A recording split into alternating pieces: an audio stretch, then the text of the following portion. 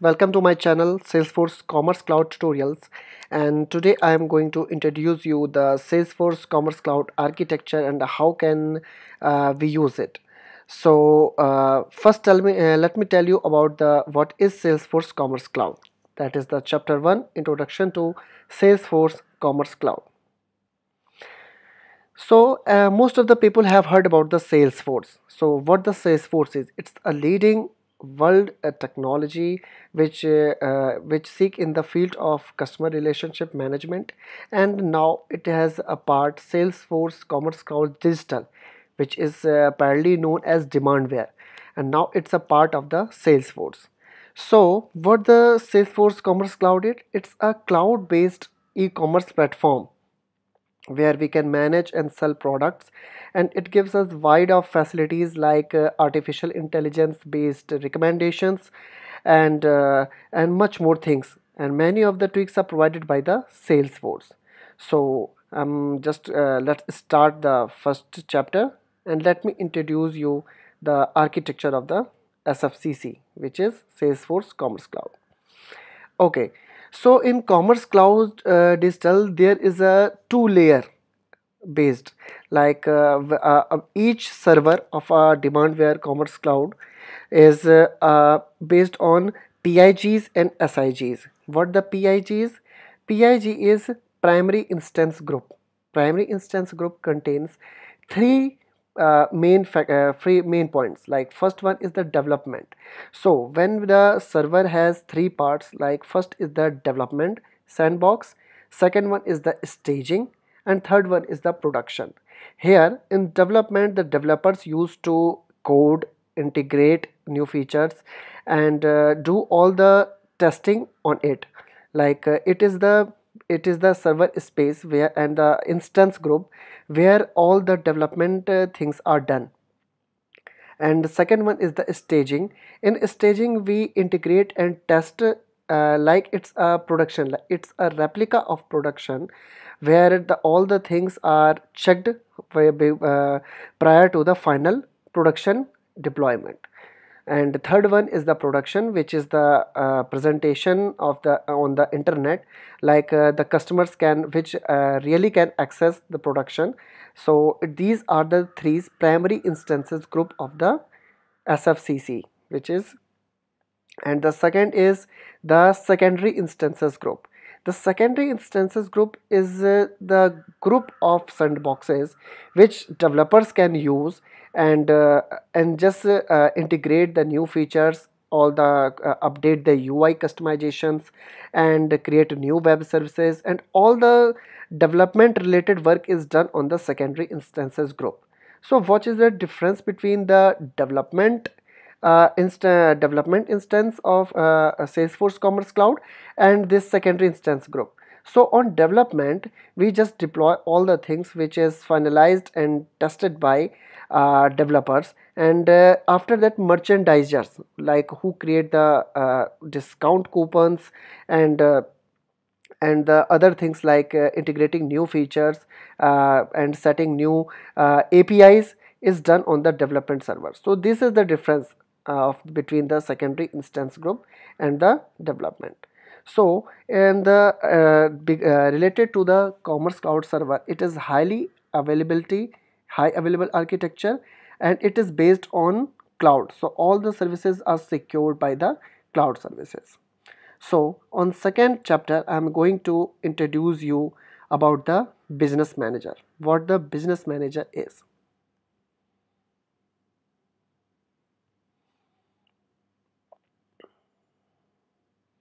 so it's a, as you know it's a paid service like uh, sales it is not a open source. First you have to purchase a sandbox of the uh, salesforce commerce cloud. Then after you are able to uh, access the uh,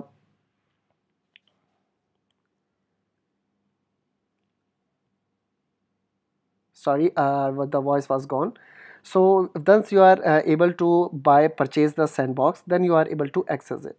So it is the typical uh, business uh, uh business manager of the salesforce commerce cloud. In you see here we get all the uh, list of the sites we have. Like for a multi-regional store if we have three four sites then the list appears here. Site genesis is the default provided demo store of the salesforce commerce cloud okay? And it is the site specific. And second one is the site genesis global which is a globally uh, global website. Like uh, we can customize site genesis for specific regions but site genesis global can be used for the all regions. So these are the default provided demo e-commerce stores by salesforce commerce cloud. Here we see its version latest version is 17.6 of salesforce commerce cloud and it provides uh, new features like new catalog module and uh, many more features. We'll be talking later. So as you see here we have three options in the menu. First one is the merchant tools second one is the administrator and third one is the storefront. So we will go one by one. The first one the merchant tools. Here we get all the tools of uh, demandware or demandware as salesforce commerce cloud which is related to the merchandising. Like we can manage contents like static contents and dynamic contents in this option like contents. And uh, we can also customize create customers and uh, and uh, we can create all import and export all the customers in this customer section. And the third one is the custom objects. Custom object is like a database. Like uh, uh, this uh, as this as you know this is a cloud based uh, uh, e-commerce platform. So we cannot access uh, databases directly. So if you want to create something and store in the database you can just use the custom objects. You can create custom objects and then enter data by customers and you can save into. That uh, the fourth option in the first column is the site urls you can uh, do all the customizations related to the urls in this sections. Like you can create new url rules you can redirects you can map the uh, uh, you can do the mapping of the specific keywords to the url and also you can customize the cdn cdn is uh, uh, server based uh, uh, JSS and uh, global global jQuery and the global static media storage so you can also यहाँ पे you can also store CDN settings here and you can also manage site maps here and here is a testing tool which is URL request analyzer which you can use to analyze like how many redirects and how many uh, requests are made among uh, when you request a specific URL of the store. The second column contains the product and catalogs. You can do all the configurations of uh, products and catalogs in this section and uh, I will be covering this topic in the in the next videos and the and the second thing is here ordering you can do all the order related customizations in this section like creating payment methods creating shipping methods and all the things in this section also you can import and export all the settings. The third column is search which is related to the uh, search facility of e-commerce stores. You can set keywords you can add stop keywords. Stop keywords are those keywords which are not taken by the server like uh, the abusive words and other things. And you can also add suggestions like if someone is typing uh, uh, two three letters you can suggest him like uh, what with the uh, full searching keyword. Like uh, for FUR you can suggest furniture. And the second last column of this section is online marketing. In this section you can configure campaigns promotions and coupon codes and these all the marketing things in this sections. So i will be discussing this point of view in a in a specific video. And uh, other uh, option is analytics where you can just uh, add the seo keywords. You can just generate the traffic reports. You can create all the uh, purchase related reports catalog related reports in this sections. I will be covering this section also in a specific video. And the last thing is site preferences in this section you can just configure the baskets which is a cart object. Cart object like uh, uh, how uh, you can just configure and add the entities and attributes to cart you can also configure the currency related settings and search preferences related settings order object related settings like uh, you want to configure uh, uh, what with the uh, auto generated order number in this order uh, section. And you can also add too many and configure all the site specific or set different settings in this site preferences. I will be covering this option in a specific video also. So let's forward with the second option which is administration So in this administration section, uh, we have specific uh, options which are directly related to the administrating the site. Like we can do in the code replications means copying and backup a code of the uh, of the site. And also you can create rules permissions users and also create FTP connections uh, which is WebDAV connections. And uh, you can create different rules from here in this specific sites option you can just create new store and update existing store settings and uh, and also uh, add uh, in uh, CDN settings in this section. The third column is site development. In this section you can create different system objects uh, uh, the different system objects like card checkout customer address. These are the system related objects you can configure and add different options options in it.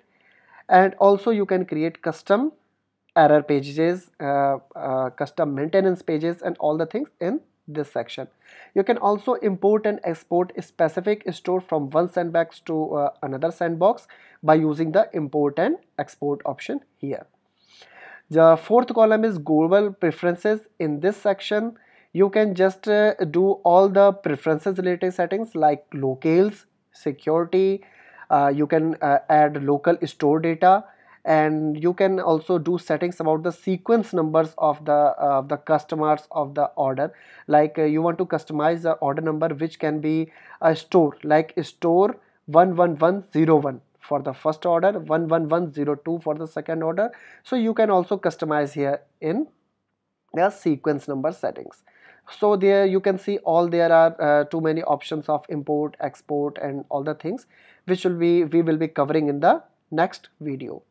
And the last option is operations. Operations is the section where a developer can uh, schedule create task and cron schedules to import and export files.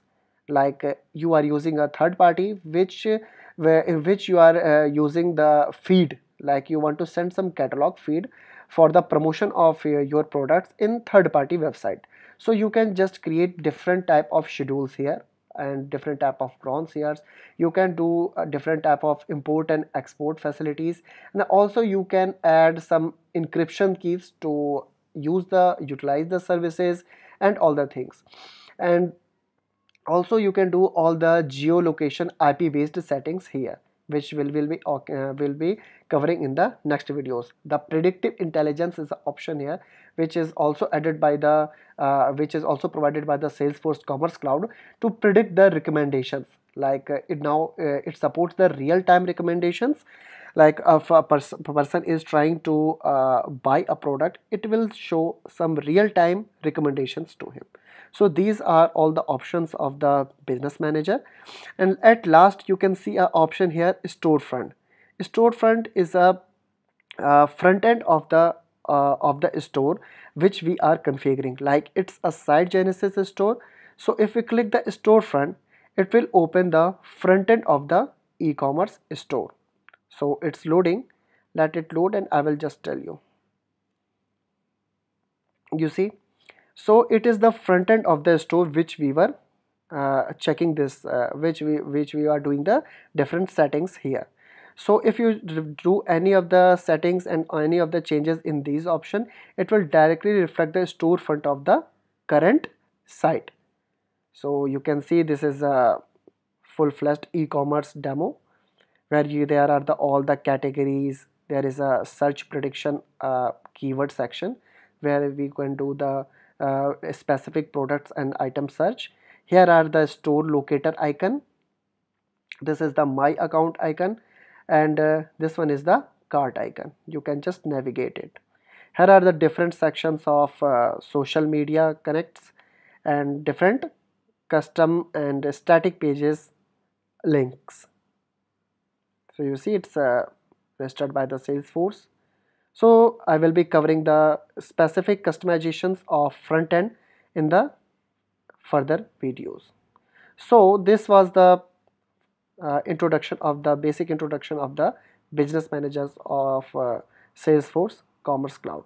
Now let's move to the third chapter. So the third chapter is commerce cloud tutorials development with eclipse and ux studio. So if you uh, want to customize the store by coding levels. Like you want to customize some UI customize uh, UI uh, pages. Like you want to customize a production uh, product page catalog page or anything related to the coding. So you can connect the code by uh, by a plugin called UX Studio which is the official uh, plugin to integrate into Eclipse and you can just uh, customize the Salesforce Commerce Cloud store. So if you want to uh, st uh, start the development, first you have to install this UX Studio plugin in the in the Eclipse. So here are the steps for installing. You just first install the Eclipse Mars and Neon as you know this is the previous version of Eclipse but these are the standard and uh, it, it, it, it is supported by the UX Studio. Means these are the official version which can which are supported by the UX Studio plugin.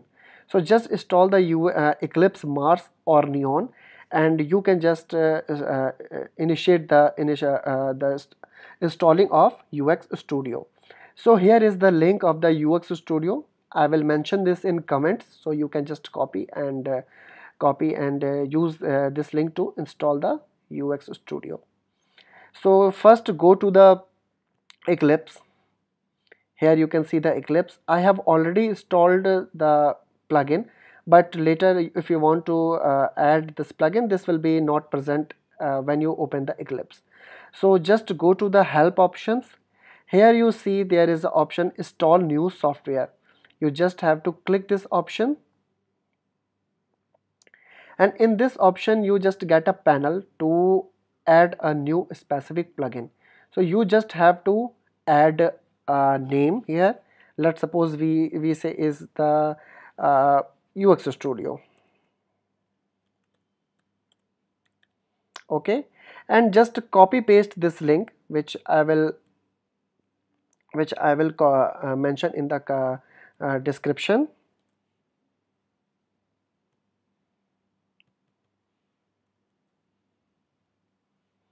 and just press the OK button. Now it will try to uh, connect to the Salesforce uh, section to download the plugin. So you have to wait for it. Once it is shown here, now, uh, then you can proceed with the finish. You see it is just showing the Salesforce Commerce Cloud plugin the UX Studio for Eclipse Neon. So you just have to select this and initiate the initiate the uh, the installation. Now I have already installed this extension so I am not proceeding with it but you have to complete this section and it will be installed. Once the plugin is installed you will get the option of digital development in the project type selection.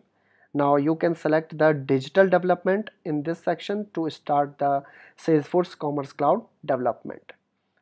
Once you select, you can just start for the new connection to the server.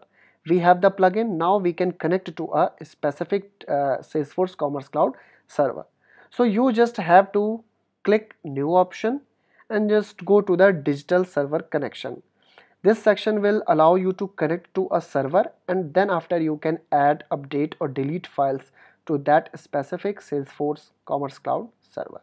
So you have to create a new digital server connection and here you can write any specific name for it. Like if you have a server named dev1 you can just write here dev1 or any specific project name. Here the uh, the server host name will be mentioned which we have to purchase or take because it's not a open source. So once you get the server host name username and password you can just connect to that server. Like I have connected a server which I have. So you can see let me tell you uh, the options which are here is the option of digital server where you can just add all the password and all the settings here. So once uh, you have connected to the server you can just do the develop uh, you can just start the development. You can also import a demo cartridge. Cartridge is the module uh, in the salesforce commerce cloud. Cartridge is just a collection of uh, all, uh, all the folders uh, the architecture of the architecture of the salesforce commerce cloud which i will be explaining in the next video so you can just start uh, you can just create a new site genesis storefront cartridge here and you can just start the basic coding. Here you will get all the options to create a cartridge create a site genesis storefront or create a business manager extension. So this was all about uh, the basic of the salesforce commerce cloud and uh, we have covered three topics like uh, we have uh, we got the introduction of the salesforce commerce cloud. Then we got to know the basics of the business manager which i covered all the options uh, which uh, which will be the, uh, completed briefly in the next videos. For that please subscribe my channel. And we have also tried to uh, connect the Eclipse to the uh, uh, to the SFCC server so that we are able to add and update all the files which are present on the server. So this was all about the first introduction of the Salesforce Commerce Cloud. Please subscribe my channel so and keep updated about the further videos in which we will cover cover all the business manager options and all the uh, and and start the basic coding on the Salesforce Commerce Cloud thank you so much thank you so much for my uh, for watching my video